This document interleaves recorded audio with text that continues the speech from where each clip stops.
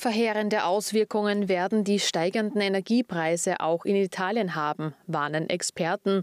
Unter Berufung auf einen Artikel spricht Christian Kern in einem neuen Tweet von 120.000 Betrieben und 370.000 Arbeitsplätzen, die in Österreichs südlichen Nachbarland vor dem Ausstehen. Sollte nicht umgehend das Problem der hohen Energiepreise gelöst werden. Vor allem die Gastronomie und Klein- und Mittelbetriebe sind betroffen. Und das bleibt kein Einzelfall in Europa, wenn es nicht sehr bald zu einer Lösung kommt. Christian Kern warnt seit Juni von einem Tsunami, der mit der Energiekrise auf Europa zurollt. Er fordert vor allem Eingriffe in die Preisbildung. Ende August legt er nochmal nach.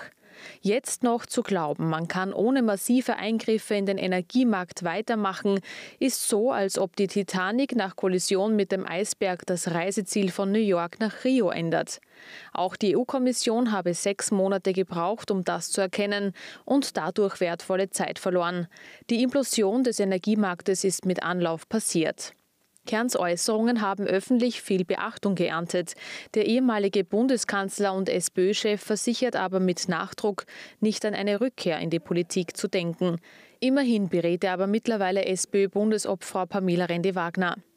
Tatsächlich ist die Lage ernst für Österreich und für ganz Europa. Die massive Teuerungswelle bei Strom, Heiz- und Treibstoffpreisen, die dem Kontinent im kommenden Jahr bevorstehen dürfte, kann keine Volkswirtschaft überleben.